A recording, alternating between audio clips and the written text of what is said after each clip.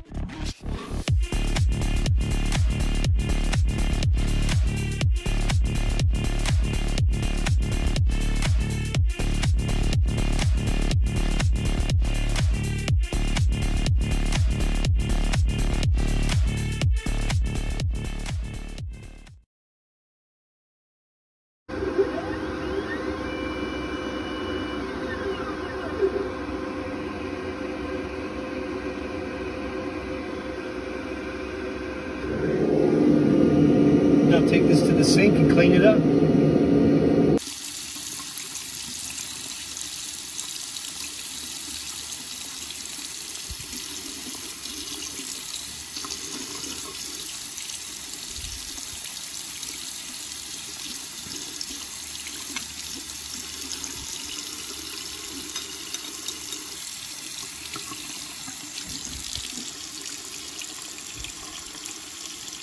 And there you go.